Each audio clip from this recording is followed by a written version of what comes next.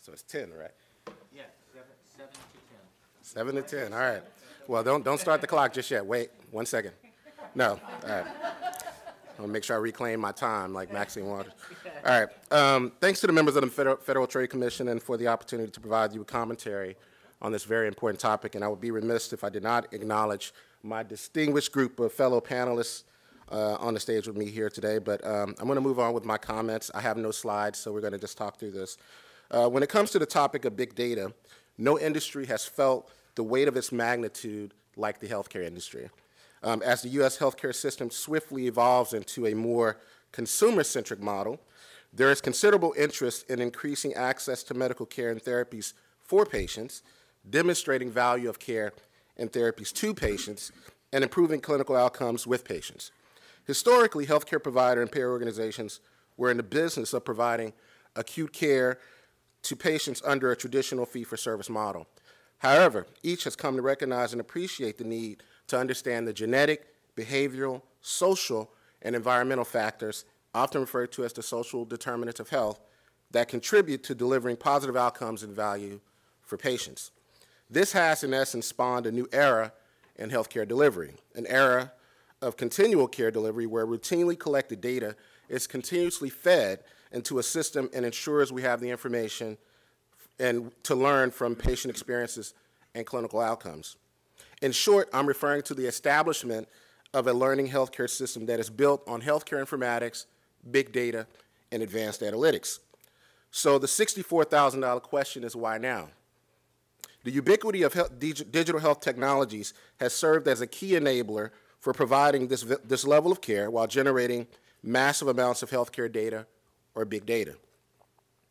Big data in healthcare is a direct, direct result of the technological advancements in the industry, advancements that include the accelerated expansion of electronic health record platforms, rapid adoption of smartphones and wearable technologies, penetration of social media in our daily lives, cost reductions in, geno in, gen in genome sequencing, and the repurposing of non-conventional data sources such as consumer, socioeconomic, and environmental data sets along with the sophisticated data analytical tools and techniques, have created an environment where data is a valuable asset.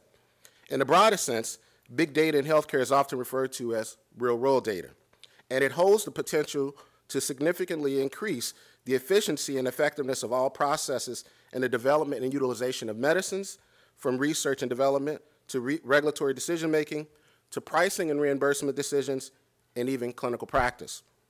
Moreover, real-world evidence, the output of the analysis of real-world data, could implement the evidence generated from randomized clinical trials, uh, could supplement the evidence generated from randomized clinical trials, which can considerably improve healthcare decision-making for all stakeholders.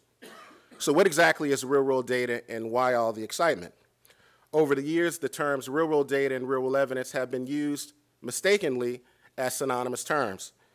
According to the researchers for the U.S. Food and Drug Administration, uh, the FDA, real-world data is defined as data relating to patient health status and or the delivery of health care routinely collected from a variety of, of sources. These sources typically fall into four major groupings. The first being clinical data, which is patient-level data pulled from electronic health records and or patient registries that describe treatment in the real world. The second category is administrative claims data, which is the data that is primarily used for billing purposes by providers to insurers or other payers. The third category is patient-generated data, which is data that describes the patient's experience and is collected and shared by the patient, his or herself. And the last category is the non-traditional health-related data sources such as your behavioral, your social media, environmental, and social and or social economic data. Real-world evidence, on the other hand, is defined as clinical evidence regarding the use and potential benefits or risk of a medical therapeutic, derived from the analysis of real-world data. The simplest way to think about it is real-world data is any, any health data not collected in a traditional randomized clinical trial and can also include data from existing secondary sources. The importance of real-world data is critical to all stakeholders across the entire healthcare value chain, including physicians, payers, regulatory bodies, patients, and yes, pharmaceutical and medical device manufacturers.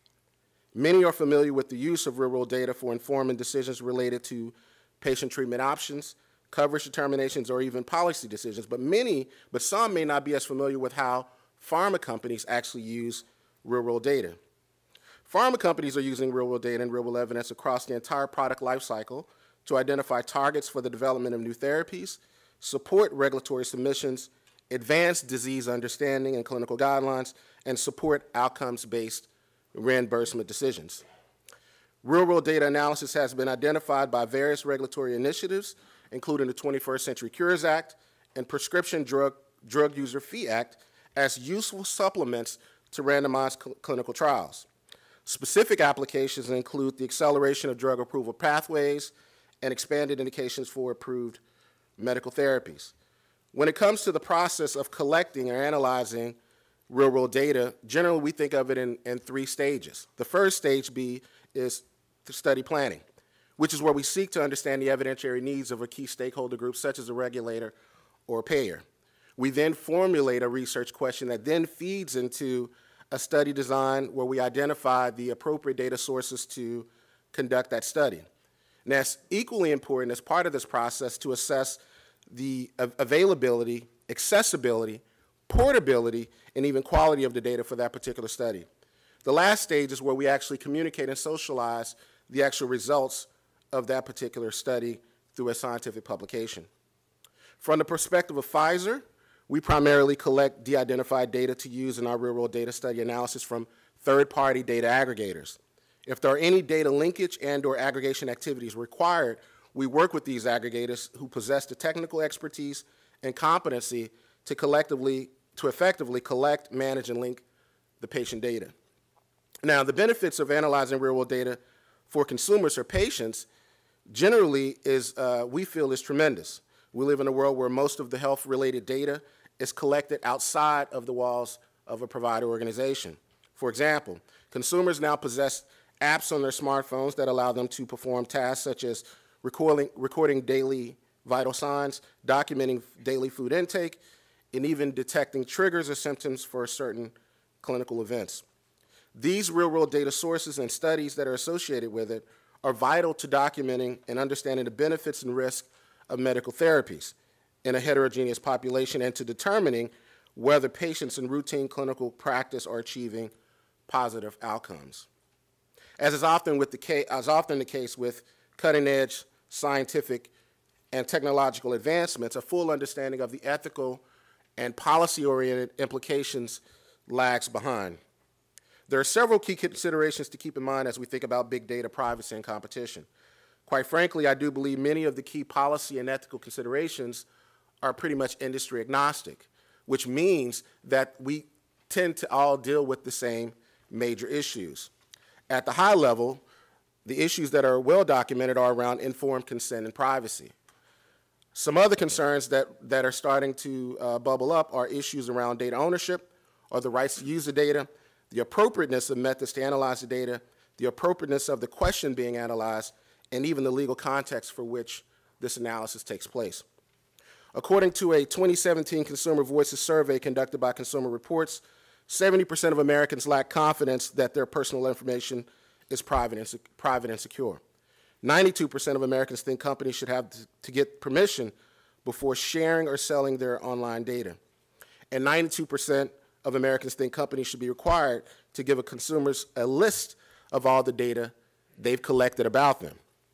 Privacy concerns related to allowing the access and analysis of large real-world data sets have greatly limited its potential.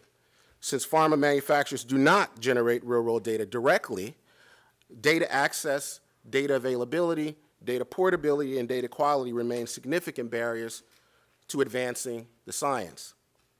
Other ethical considerations that the FTC should keep in mind are the existence of big data divides which is created between those who have or lack the necessary resources and infrastructure to effectively analyze these large data sets. The next one is the monetization of data and the potential, pro potential problems with ownership of intellectual property generated from the analysis of these aggregated data sets. And lastly, the future of real-world data and evidence is in the aggregation of genomic and other omic data and the possible dangers of intentional or unintentional group-level ethical harms specifically as it pertains to patients' beliefs about the benefits and harms to a particular racial, or ethnic group in studies. There is considerable high hopes for the use of real-world evidence to improve decision-making in the U.S. healthcare system, but all stakeholders have a role to play. Pharma manufacturers have a critical role in driving innovation by using real-world evidence to support clinical trial designs and observational studies to generate evidence and new treatment approaches.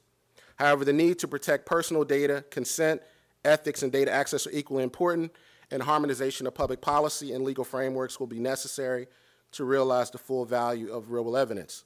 It is critical that the FTC, as part of its role to protect consumers and promote lawful competition, take affirmative steps to promote ethical use, data ownership, and privacy as it pertains to big data in healthcare. These are important considerations to keep in mind as the FTC reviews the state of big data in business and how it affects consumer privacy and industry competition. Pfizer stands ready to discuss the shared responsibility with all interested parties to make this vision a reality. Thank you.